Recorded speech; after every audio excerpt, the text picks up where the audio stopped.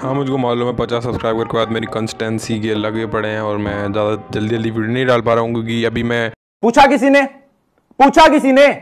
किसी ने नहीं पूछा।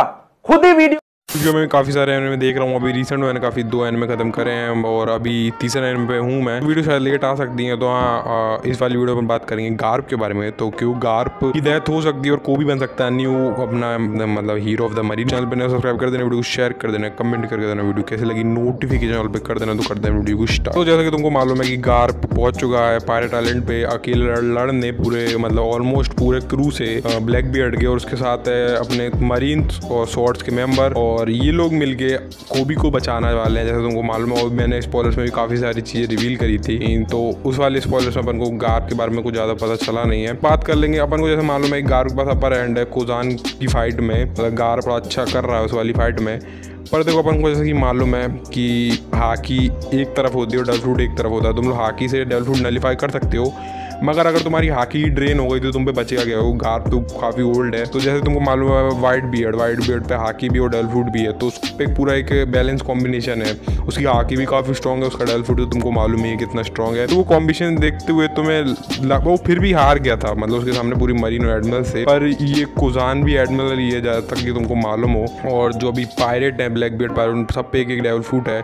और ये हाकी उसकी कभी ना कभी तो देखो अपनी आउट ऑफ़ पावर हो जाएगी या फिर रीफिल नहीं रहेगी हाकी उसकी। जैसे अपन को मालूम है कि अपन को हाकी रीफिल करने में दस या बीस मिनट लगते हैं। लाइक वो तो लूफी के परस्पेक्टिव से मैं बोल रहा हूँ कि अपन को लग सकते हैं दस मिनट पर जैसे तुमको मालूम है गार पोल्ड है, उसने अपनी काफ़ी सारी हाकी इस्तेमाल करी है और उसकी आगे पता नहीं कब तक चलेगी और डेल्फुड को नेलीफाई करना एक दूसरी बात होती है। और प्लस अगर एक एडमिनल लेवल के बंदे तुम लड़ रहे हो तो तुम्हें मालूम है हाँ मान के चलो उसका स्टूडेंट है, फिर भी अगर ऐसी बात है तो मेरे को नहीं लगता कि गार्प बच पाएगा। वो गार्प की एक लेजेंडरी डेथ हो सकती है लाइक ब्लैक बियर्ड और मतलब वाइट बियर्ड और रॉजर एक ऐसी लेजेंडरी देख, देखने को मिल सकती है और वहाँ से लोग कोबी को लेके निकल जाए और कोबी बने फिर अपना अगला। हीरो ऑफ़ द मरीन और इसका इतना बड़ा रीज़न देखने की ज़रूरत नहीं समझता।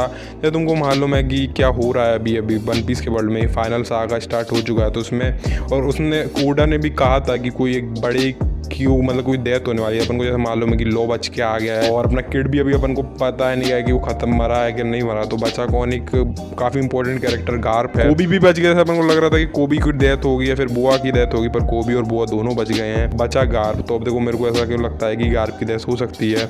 ये मेरे को हंड्रेड परसेंट श्योर नहीं है, पर जितने रीज़न वो दिखाई दे रहे हैं, मेरे को लग रहा है उसकी डेथ हो सकती है। तो ये वीडियो यहीं तक थी। मुझे लगता नहीं कि वीडियो में दूसरा रीज़न कोई देखने की ज़रूरत पड़ेगी। तो हाँ चैनल पर नए हो सब्सक्राइब कर देना वीडियो शेयर कर देना कमेंट करके देना वीडियो कैसे लगी। नोटिफिकेशन ऑल पे कर देना तो करते हैं वीडियो यहीं करता मिलता हूँ अगली वीडियो में, पता नहीं वीडियो कब तक आएगी तो जब तक ये थैंक फॉर वॉचिंग